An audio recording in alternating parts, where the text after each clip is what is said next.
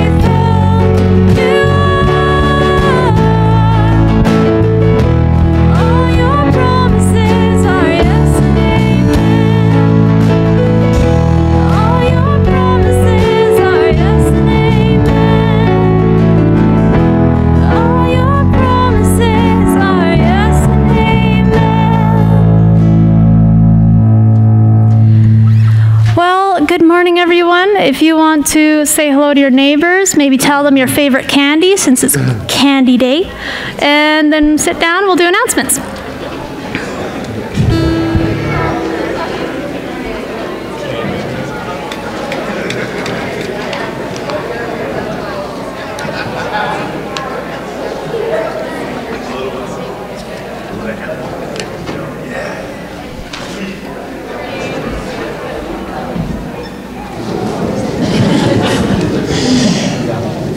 Good morning. I want to welcome you to church this morning. And just in case you need to know, my favorite Halloween candy is an O. Henry bar. Like, you know those little ones you get in the big, but like 14 of them, not one. Yeah, it has to equal at least one full size chocolate bar, right? So awesome. I want to welcome you all here this morning. And uh, if you're visiting with us this, well, I can't talk. If you're visiting with us this morning, we're glad that you're here. We want to welcome you especially.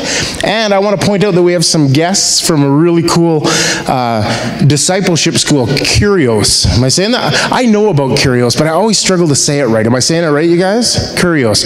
And it's actually our, our church denomination's discipleship school. And it's a really neat experience. You should look it up online.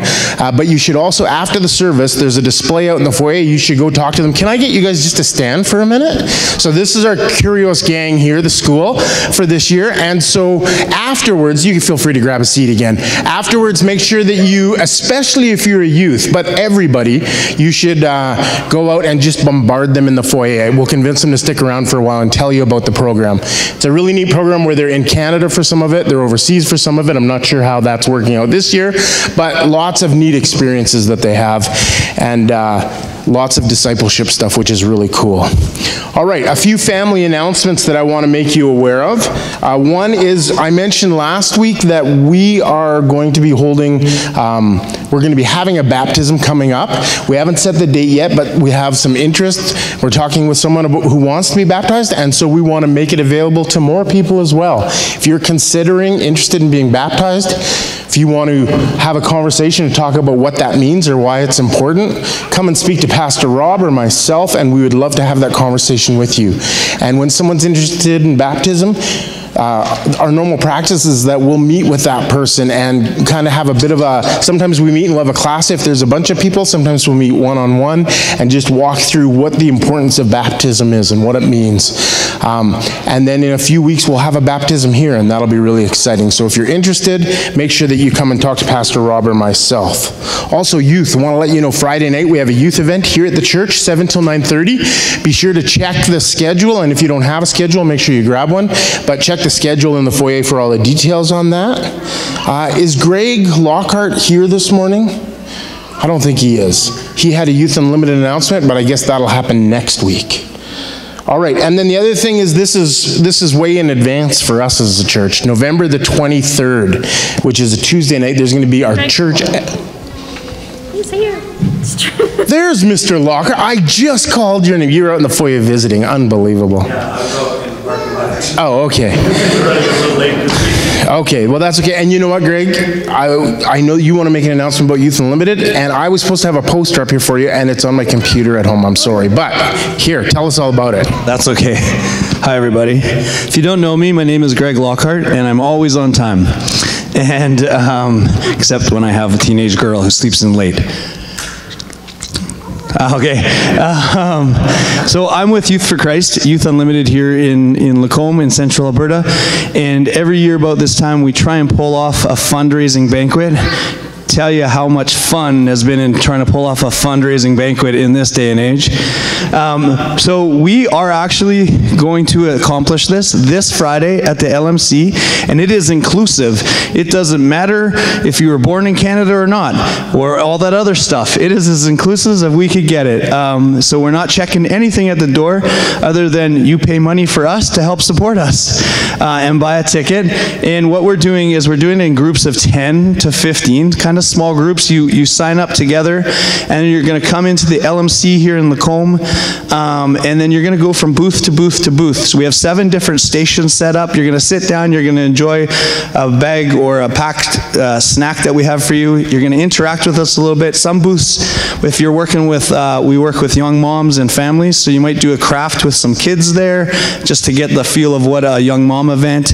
Uh, um, you might uh, you might build an activity with us uh, on our Mexico booth or things like that. So it's going to be really uh, interactive at the same time as you get to sit and kind of relax a little bit and listen listen to our vision and uh, and it's as inclusive as we can be. So right now, if you go on our webpage, which is not on there, but uh, if you go on our webpage, it's CAYU, Central Alberta Youth Unlimited.ca, uh, and you can sign up for tickets. We also have a silent auction running right now on our webpage, and there are some amazing, um, amazing items up on our silent auction. I love food.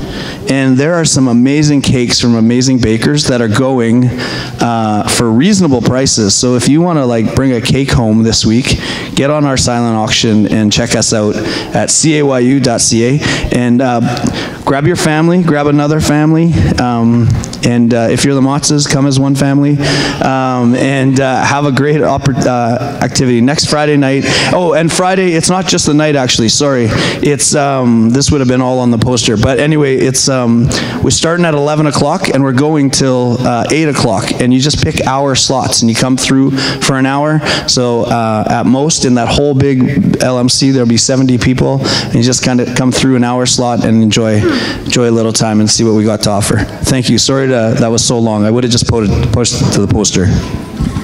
Wow, you really made a lot of comments about the poster not being up there. Yeah, okay. Make sure you go to the website and get all the details for that. All right, and then the last thing I want to make you aware of, and it's down the road, but on November the 23rd, we're having our uh, annual meeting here at the church. And so, uh, if this is your your home church, this is your church family, then this is an evening for you to come out and be a part of the business aspects of of the church, and just uh, also to just be together and talk about the ministries of our church. All right, I want to share with you from Colossians 1, and it's a letter that Paul wrote to the Colossians it's also very fitting and suitable for us this morning, and, uh, and that's why it's in the scriptures here. And so I want to read it to you, and I'm going to start at verse 9 and go through verse 14. This is what it says. And so from this day, oh, sorry, and so from the day we heard, we have not ceased to pray for you, asking that you would be filled with the knowledge of His will, God's will in all spiritual wisdom and understanding, so as to walk in a manner worthy of the Lord, fully pleasing to Him, bearing fruit in every good work, and increasing in the knowledge of God, being strengthened with all power according to His glorious might, for all endurance and patience with joy, giving thanks to the Father who has qualified you to share in the inheritance of the saints in light. He has delivered us from the domain of darkness and transferred us into the kingdom of his beloved Son, in whom we have redemption and the forgiveness of sins. And even this morning, this is why we gather. Why are we at church this morning? To worship a God who has rescued us, who cares for us, who loves us, who has made a way for us to be with Him in relationship with Him. So as we worship and as we hear from His Word, um, we want to express our gratitude for what he has done for us. And so I want to pray and I want to invite you. Will you stand with me as I pray? So stand and let's pray together as we continue to worship God. Father, this morning we gather in this room because we want to meet with you. And God, we acknowledge that we gather on Sunday mornings and there can be some routine to that, and that's good. But God, we don't want to forget why we gather in this room. We gather in this place to meet with you as your church, as your, as your children, to worship you, to thank you, and to come with hearts of gratitude and to express to you our thanks for all that you have done for us. God, we also come because we want to experience you in our lives and we want to know the presence, your presence with us, and we want to hear from you. We want to lift up your name in these songs. We want to hear from you in your word. We want your word to come to life by your Holy Spirit speaking into our minds and into our hearts. And so, God, we ask for that this morning. And we come, help us to have expectant hearts.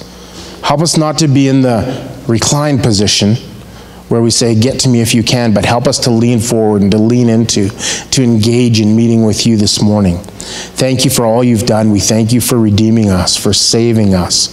Thank you for allowing us to know and understand you and who you are and your character and, and this relationship you invite us into. We thank you for that and we worship you. Amen.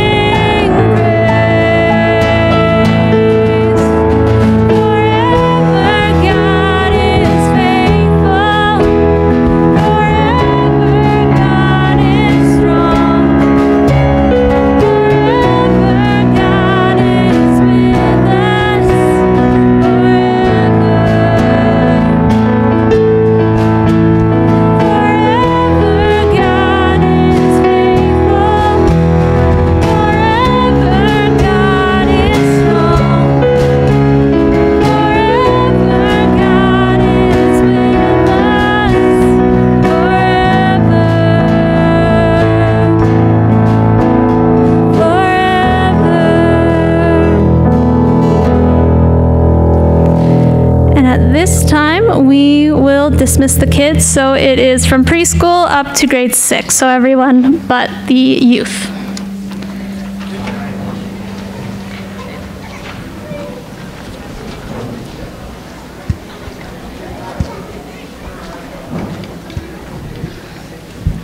We're still doing offering, right?